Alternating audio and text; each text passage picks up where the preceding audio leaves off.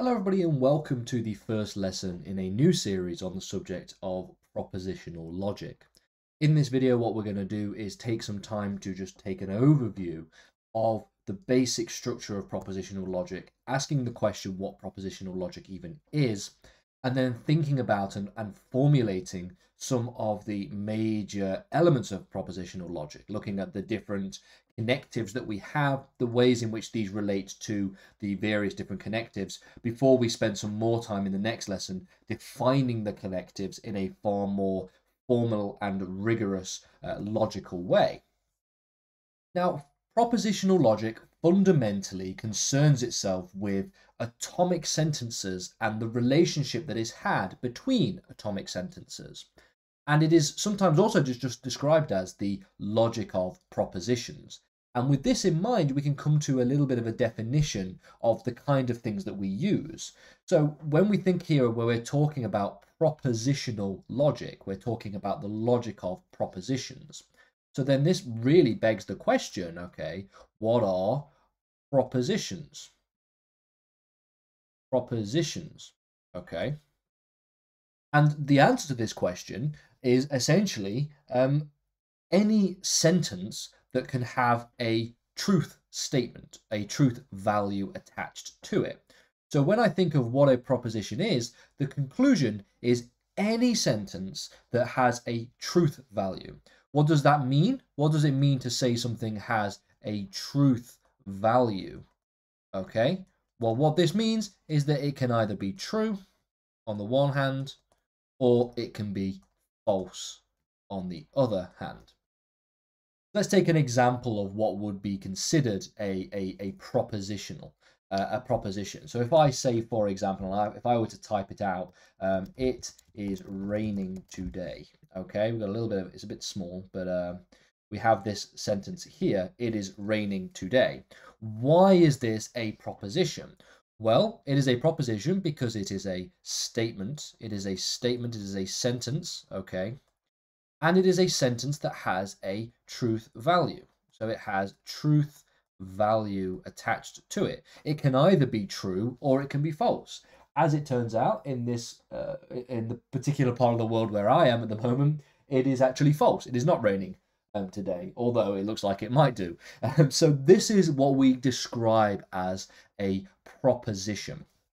And so, really, when we think what is propositional logic, well, it is the logic of those propositions.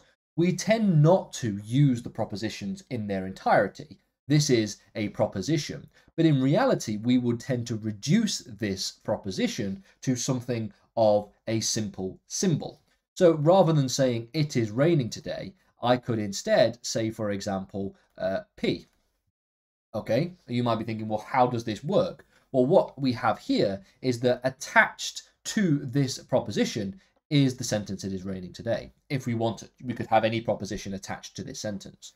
And so what we are doing here is we are therefore now taking propositional logic. We are taking the propositions, things like it is raining today, or the sun is out, or I've hurt my foot, all of these different sentences that can be either true or false, and we're just going one step higher. We are sort of leveling it up slightly to a point where now we are not talking about specific propositions, we're talking about propositions in their abstract. And so, propositional logic, um, sometimes described as PL, okay, propositional logic is concerned with atomic sentences, atomic sentences, okay, atomic sentences, sometimes known as propositions, propositions, okay? And that these atomic sentences, and we're talking about, and their relations, and their relations, okay? And their relations. This is what we are studying. This is propositional logic, okay? And so we take away the sentences themselves and we replace them with symbols. We have symbols like P, we sometimes use Q, we sometimes use R, S, and T. Those are the sort of general propositions that you would use in propositional logic. Most textbooks and most uh, lecture notes on this topic would also do something very, very similar. We use the lowercase, so this would actually be incorrect. We would use the lowercase.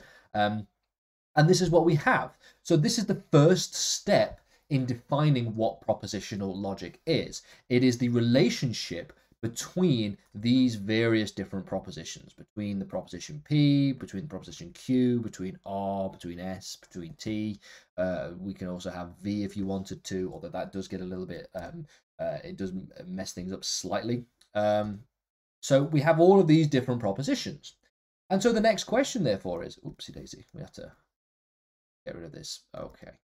Uh, and so the next question, therefore, is if this is what propositional logic is, we're talking about the relationship between propositions, then what are the relationships between propositions? And this gives rise to the question of logical connectives. Okay, so we're going to talk now about connective very briefly. So we're talking about connectives. What are connectives? These are the things that explain and describe the relationship between the various different propositions that you have. And so we go from just having propositions on their own, like we have up here, to a language of propositional logic. And so, how does this work? Well, there are fundamentally five different connectives that we will be concerning ourselves with. We have what is known as the negation, the negation, we have a conjunction, conjunction. We have the disjunction, disjunction. We have the material implication, material implication. And then we have the material equivalence, material equivalence. Okay. These are the five connectives that we're talking about. And each of these connectives have their own different symbols that we can associate with them. So when we're talking about a negation, we have a thing like this. It's like a little, um, it's like a little, I don't know, it's almost like a sideways L to an extent. That's what the negation looks like. A conjunction is like an upside down V or like a hat. The disjunction is the opposite of this. It looks like the letter V itself. The material implication looks like an arrow facing in this direction, and then the material equivalence is an arrow facing in both directions, like so. Now, there are other different ways in which these different connectives um, can be uh, examined. So, for example, sometimes conjunctions look like this, like a U. Um, so, sometimes you have um, this as being the negation. It all depends on the textbooks and it all depends on the logical um, lecture notes that you are looking at.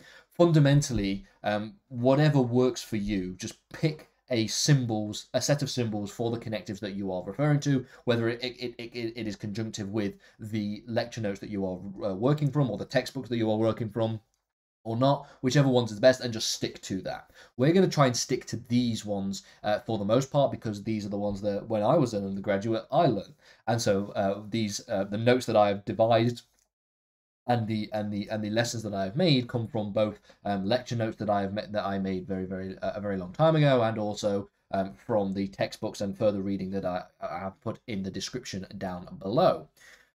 And so, just as a basic finisher, then, let's have a look at what some of these sentences look like without getting into any detail about what any of these things mean, because that's what we're going to do in the next lesson. So, you can have, for example, a proposition where you have a negation and then you have the proposition like this. And then you could maybe have the proposition in relation to another proposition. We can then put brackets around these things and we can have a proposition here and we could have a material implication that gives us a proposition over here with maybe another negation with another R, a disjunction, shall we say, and then we can have S. Then we could even have another bracket if you wanted, and you can have, uh, for, for example, um, you could have, for example, T and then the material equivalence, and then you can have U. Okay, this is a sentence in propositional logic. Obviously, be careful with the parentheses and how you place them, but this is what the kind of things that we're going to be looking at, um, uh, how they look, okay? Um, and fundamentally, um, what this actually means is if not P and Q, then uh, then not R. we this is uh, something let's put a, a disjunction here. We'll put a little connective here as well. They're not r or s or uh, t if and only if u. These are different ways in which we can um, explain what these sentences mean um, the next lesson, I'm going to go into more detail about what the logical connectives are and how they actually work. We're going to define them fundamentally uh, from the perspective of logic themselves, and so you'll have a better understanding of how they work and how they operate in the next lesson.